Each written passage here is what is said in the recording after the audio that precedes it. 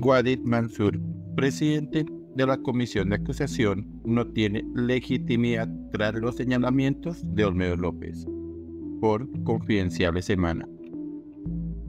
Tras los señalamientos de Olmedo López contra Wadid Mansur, en la Comisión de Acusación se avecina un debate sobre las garantías y la imparcialidad que deben tener los procesos que avanzan contra el presidente Petro. El próximo miércoles se reunirán los representantes investigadores para exponer sus argumentos y definir qué pasará. Aunque se respetará la presunción de inocencia, un sector pedirá que Mansur sea parte de la presidencia para evitar suspicacias.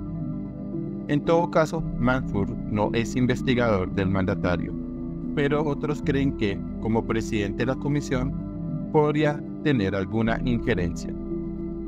Los rumores en los pasillos del Congreso son que podría salir más nombres en este escándalo de corrupción y que serían integrantes de esa célula que desempeña funciones judiciales de investigación.